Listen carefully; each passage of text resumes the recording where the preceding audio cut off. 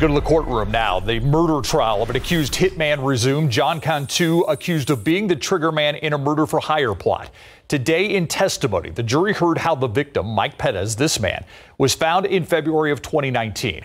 Police officer Frank Lopez responded to a welfare check of a man lying near a roadway on the south side.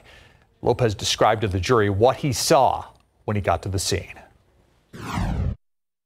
As I'm approaching, I'm looking for you know some type of breathing, uh, the rising and fall of his chest.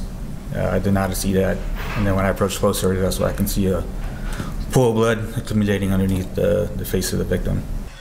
The officer's body camera footage from that night also shown to the jury. Pettis was allegedly killed after Cantu's sister-in-law, Christina Rodriguez, paid Cantu $500. Rodriguez and her husband, John Cantu's brother, Manuel Cantu, are also facing capital murder charges in this case. They've yet to go to trial, though. Testimony in John Cantu's trial will continue tomorrow. If he's found guilty, he is automatically sentenced to life in prison without the possibility of parole. Keep up to date with all of San Antonio's top news, weather, and so much more by clicking the like and subscribe buttons below. And once again, thanks for watching KSAT.